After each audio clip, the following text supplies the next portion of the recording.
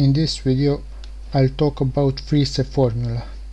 It gives us a power received from a radio communication link. Let's say we have a transmitter that has transmitting power PT and let's assume radiation is same in all directions like a sphere. That's also known as isotropic radiator. Then power density can be found as power of the transmitter over some area. And since we're talking about sphere, then we can write it in, in this way. But since we don't have ideal isotropic radiator, we need to calculate gain of our uh, transmitting antenna, GT. The receiving antenna extracts power PR given in terms of the effective area from previous equation.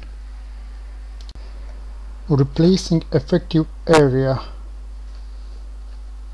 We got receiving power as this long expression that we can nicely put as PR is transmitting power gain of transmitting and receiving antenna wavelength and sphere area.